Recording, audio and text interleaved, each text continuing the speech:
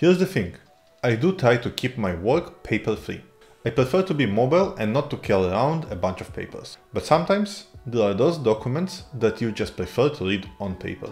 And since I need a printer pretty early, I didn't want to buy a fancy and expensive one. In fact, I bought the cheapest laser printer I could find. Unfortunately, it's pretty dumb. No Wi-Fi, no queue, nothing fancy.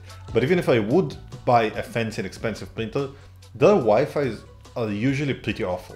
But with a little bit of Raspberry Pi magic, we can turn a dumb and cheap printer into a smart and wireless one. So let's get started.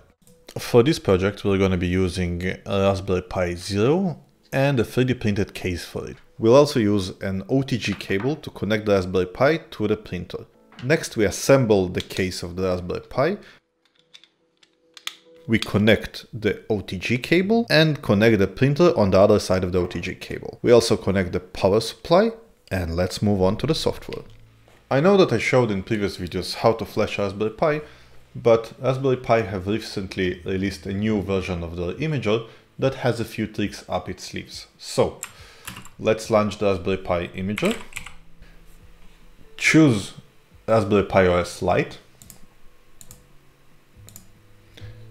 and the SD card. And before you press write, press Command Shift X and you will see this advanced uh, options panel. Here, set the hostname to printer, enable SSH and give the Pi user a password. The Raspberry Pi imager actually can pre-configure your Wi-Fi uh, password and network from your laptop. So enable that and write.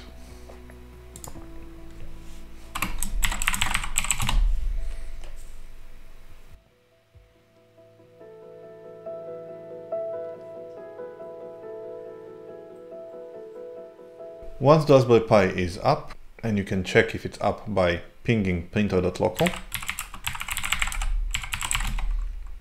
When it responds, you just SSH into the Pi. On Linux and macOS, you can use the built-in terminal. On Windows, you can install a third-party application called PuTTY. So we SSH into Pi at printer.local and use the password you entered while flashing the image. Then you type sudo minus i and can now install different applications on the Pi. So we want to install CUPS.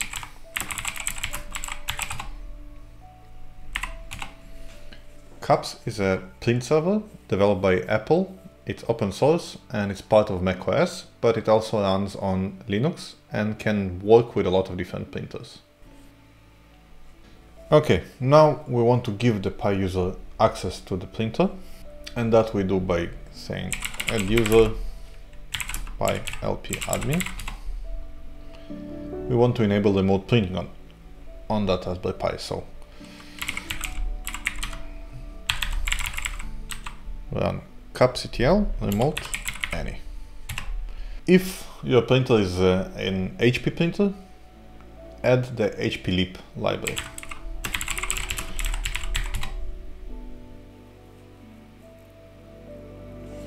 And if you want the printer to be accessible from Windows, install Samba as well.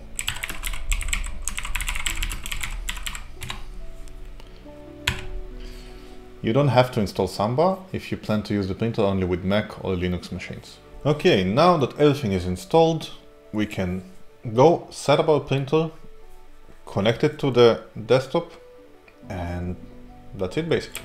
So we go back to the browser and we open printer.local 631.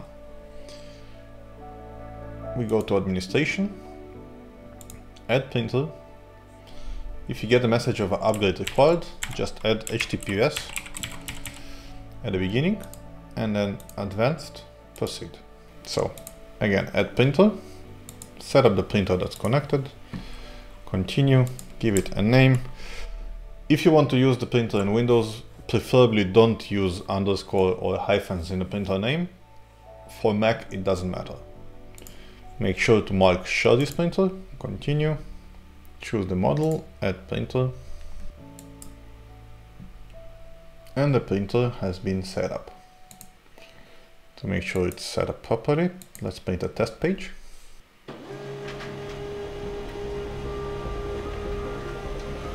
To set it up in Mac, we go to System Preferences, Printers and Scanners, Add. And the printer has actually been already found on the network. Add it. And let's print a test page here as well.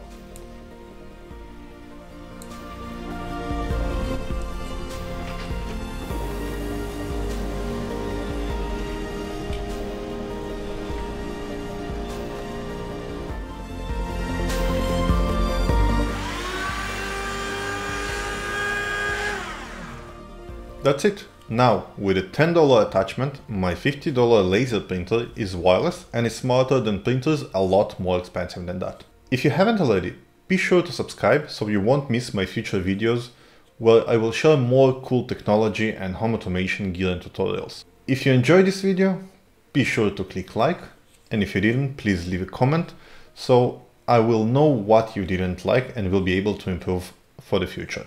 Thank you so much for watching and I hope you enjoyed watching this video as much as I enjoyed making it and see you in the next one.